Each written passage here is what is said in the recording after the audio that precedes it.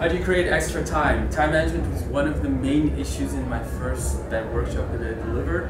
Um, you need to adopt mindsets. So usually having time means you have not the right mindsets. And what do I mean with that? And it could be different with you, so correct me if I'm wrong. But usually my entire mindset throughout my entire process of founding my companies and whatever I do is I don't want to be doing this, how do I outsource this? So if you have that mindset, then you're good. Uh, because then you'll be hiring people as much as possible, you'll be growing your team, um, and they'll be doing everything, and then you'll be doing what you should be doing. Um, then the second thing, and that's what my uh, early mentor shared with me, and this guy is the founder of TEDx Leuven. We sat down one day and we were drinking and at the end, we just finished the TEDx event and everything and, and we were just chatting and I learned a lot from. I had my notebook, I was writing stuff down. And he said, um, you'll be successful the moment you start focusing. So because I had a lot of company, like a lot of things that I was doing that were branded as companies, but not really. And so my focus was diverted. And when I was founding Why Not 3, this was a big issue because I had followed his advice and I had focused on my main company, which is Lightning Video Editors, and it had become really successful. But here I'm in a workshop and I start seeing where my calling is leading me, where I can really truly help people, which is Why Not 3. And here I was struggling because I needed to find found the second company if my friends my friends were ending up in the hospital by the dozens. I'm not like I'm not joking because I'm friends with overachievers. I'm an overachiever myself, and so my friends were ending up in hospitals, and I had to do it because these people were just like not listening to they, like they couldn't listen to one advice. They had to listen to this like book pretty much. Like there's so much content that I had to give to them, but over a period of time, and it wasn't one friend. It was a lot of friends. So why not three had to come, and here I'm going kind of against the advice of that guy that told me you should focus. So what I started doing is automating as much as possible in my main company to the point where the production phase was completely automated. How did I know it was completely automated? Because I went to Bulgaria. We had a, a meetup with the mastermind that I'm in, in Bulgaria snowboarding, and my MacBook broke down and I manage everything on my MacBook. So I only had my iPhone.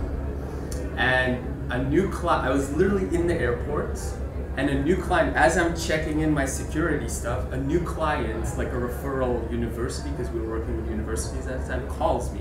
And they're like, oh, we heard from this university, you did their uh, intro to the year movie thingy, can you do it for us?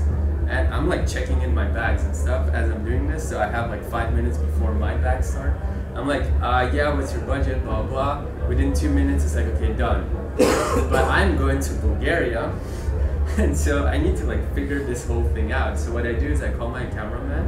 Uh, this is even before my bags are still, I'm calling him, I still have two minutes. I'm like, you have a project here and here, are you available that day? He's like, yeah.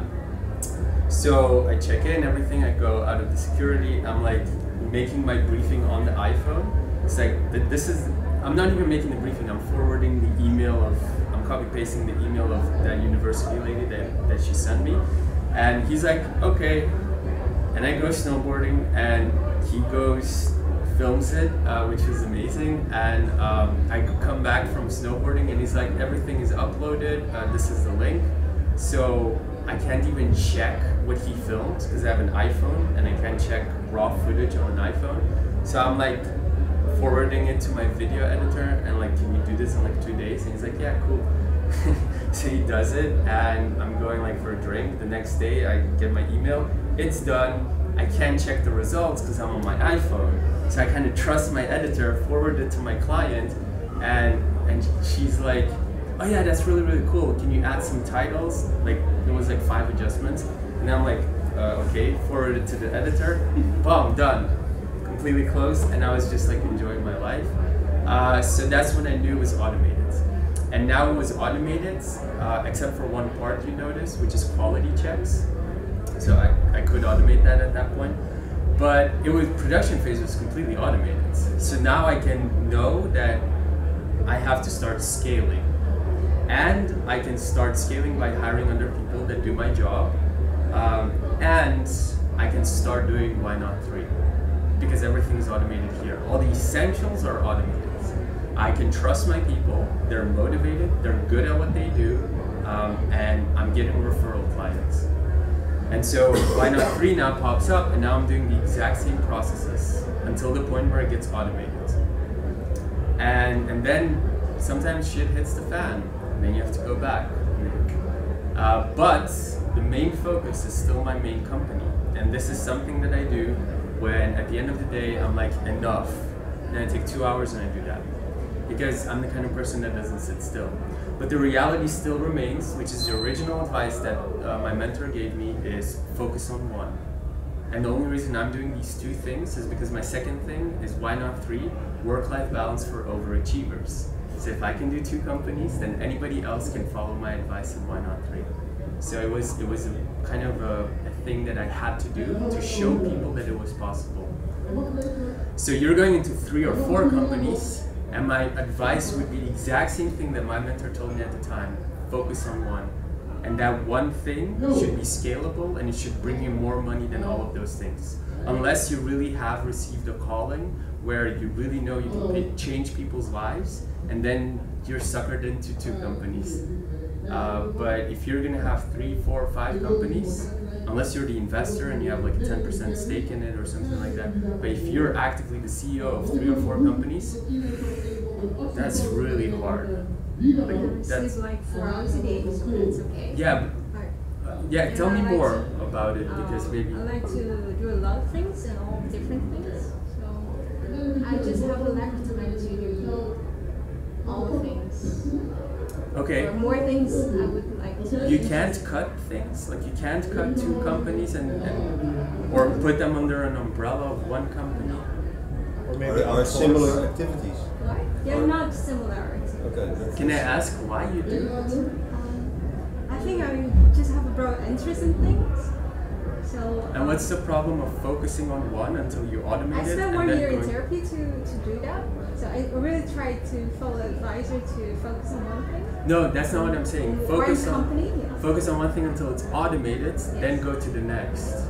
It's all people related um, jobs, so you cannot really automate. Okay. Why are you doing it? because it makes me happy. So. okay, but you can't. Okay, so what I would advise you specifically if we would sit down one on one is figure out why you do what you do, Yeah. and then a lot take the company that is most aligned to this why, and go for that one. I would really advise cutting. Um, and that doesn't mean you have to cut the activities because you can still take the, the things you like from the other companies and put them under one umbrella. And who decides your time? Who decides your time? Me myself. Yeah. Do you have? But still, you have to, not enough time. No, then- because I like to do more. can can you outsource? No. Okay, can you is that is it do you have these systems? Uh, uh, half of it, but I cannot. Okay, you should map out everything. Yeah, Because that's- most of the problems lie in that it's not mapped out and that you don't see where you can automate. But usually you can. Yeah. Uh, it's all about going really detailed. I know it's it's uh, it's really you have to go really detailed. Like this is really broad. My companies are really detailed to the point where my hiring funnels are like I copy paste stuff. I know the exact like it's just there, and then sometimes I adjust depending on what I hire, like who I hire. So it has to go super detailed, and it's those moments that you can start outsourcing, even if it's super like consultancy. Like the biggest consultancy firms have outsourced their consultants because they've done this really, really detailed. So there's always a way to to scale that. And the only way is go really detailed and start looking where you can outsource what. And if you can't outsource it, it's usually because it's not detailed enough. But what if the person, the companies only want to talk to you as a person, so they don't want. That's expectation setting. Okay. In the beginning, my face was on the company, and I started rebranding a lot to the point where my face wasn't my company anymore. And and the way companies accept that is the results you deliver. As long as you have results, people don't care. Unless it's something like psychol like psych- psychology and stuff like that. But even then, Tony Robbins has built an empire and he's outsourced it. So there's always something to outsource. If you really want, you can like sit down with me and we'll like look over it like at the end with the Q and A. But usually you can outsource stuff. Most of the time you can outsource it. And if it's You should yeah. be flexible.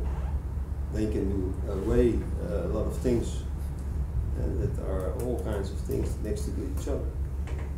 And now you uh, have the feeling that you want to uh, focus on the other side. Yeah. Does that answer your question then? Yeah.